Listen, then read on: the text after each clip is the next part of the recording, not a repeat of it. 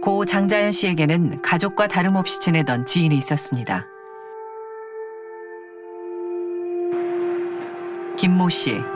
그는 장자연 씨 사망 이후 자주 이사를 다녔고 자신의 정체를 꽁꽁 숨긴 채 살았습니다. PD 수첩은 지난해부터 김 씨를 만나기 위해 노력했습니다.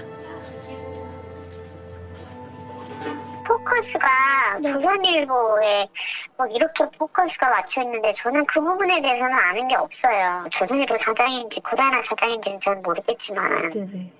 네, 그 사람들을 만난 걸 본 적은 없어요, 제가. 네, 그럼. 얘기만 들었을 뿐이에요. 문건에 쓴 내용이기 때문에. 몇 차례 제작진과 통화를 할 때마다 김 씨는 아는 게 없다고만 말했습니다. 그리고 두려워했습니다.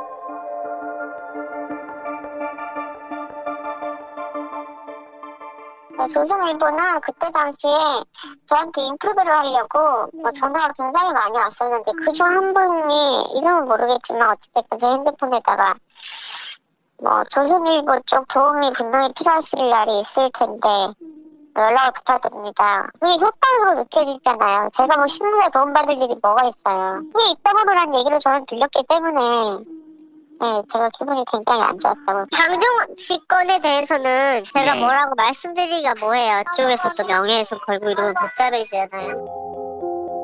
검찰 진상조사단의 조사가 진행되자 김 씨의 마음이 움직입니다.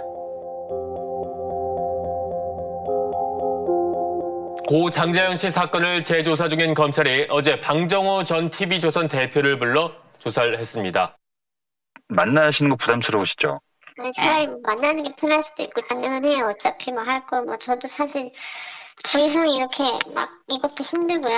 아, 저도 이 전화 누르는 거 너무 마음이 무겁거든요. 이게 10년 동안 이 시달리셨을 텐데 또 제가 또 이러는 게 그런데 어 이게 뭐 명확하게 밝혀진다면야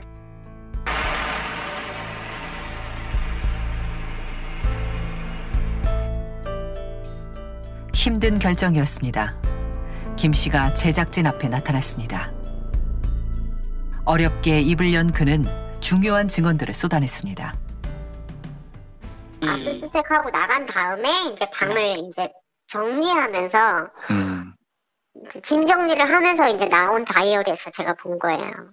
아, 그럼 그거를 압수수색 왔던 경찰은 가져가지 않은 압수수색 왔을 때 경찰은 그냥 뭐 컴퓨터 본체랑 그냥 수첩 하나 이렇게, 이렇게 구체적으로 이렇게 뒤져서 가져가지를 않고 아주 초간단하게 가져나갔거든요.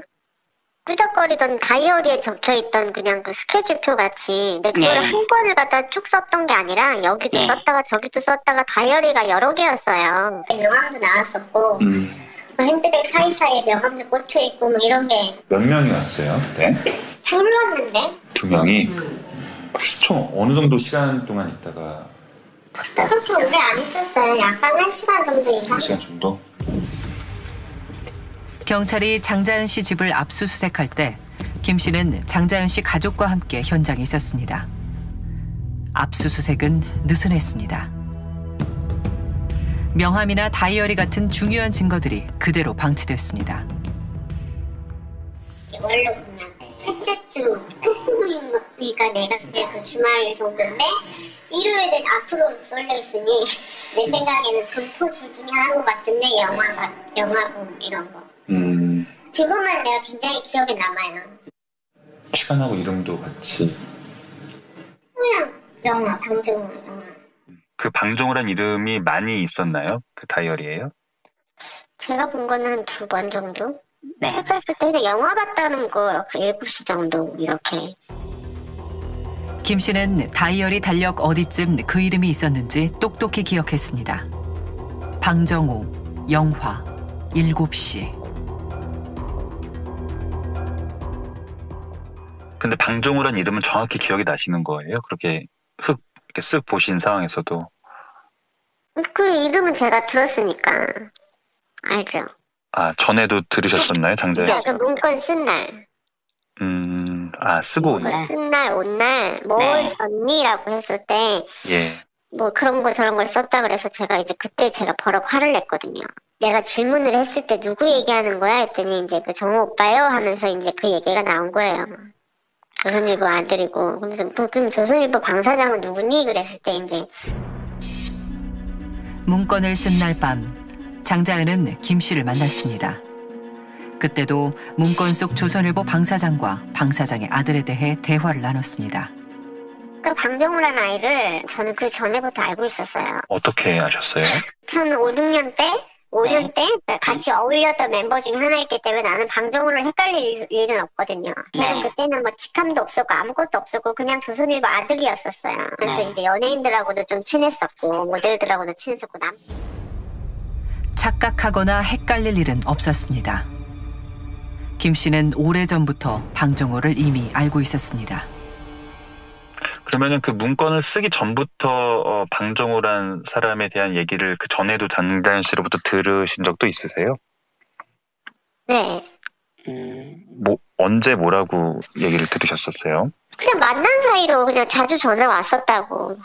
음, 자주 전화가 그게 지금 자연이가 3월에 죽었으니까 아마 네. 한 1월이지 않을까요? 1월인지 12월인지 아무튼 방정호와 장자열은 통화도 하고 문자도 하던 사이라고 했습니다. 직접 그런 장면을 본 적도 있다고 합니다. 문자가 와가지고 누구냐 그랬더니 이제 그러면서 얘기했었어요. 내가 그 방정호 내가 물어봐서 맞다고 얘기를 했어. 언론 통해서 계속 방정호는 장자연을 모른다라고 그거 말이 안 되는 얘기고요. 음. 내가 눈으로 본 적은 없지만 자연이가 없는 말을 뭐 공주병 걸려갖고 저 사람이 나한테 들이댄다 이러진 않잖아요. 그러니까 그거는 제가 들었기 때문에 많고 방정호는 장자연 어머니 기일 외에 장자연을 만나거나 통화한 적이 없다고 했습니다. 제가 예. 방정호 부분이나 뭐나 이게 음. 안될 거라고 내가 그냥 확신을 했던 게 네. 그냥 지금 현재 대통령 건드는 거나 똑같은 거예요. 아, 그렇게 생각하세요? 그러니까 저는 그렇게 보이는 거예요. 그냥 그래서 이거는 뭘 무슨 짓을 해도 안 된다고 생각했기 때문에 과거에도 입을 다물었던 거고 그냥 또 그렇게 생각해요. 대통령 비리 파는 거나 똑같다고. 그렇다고 해서 처벌이 되겠어요? 뭐가 되겠어요? 아무것도 저는 안 된다고 생각을 하거든요.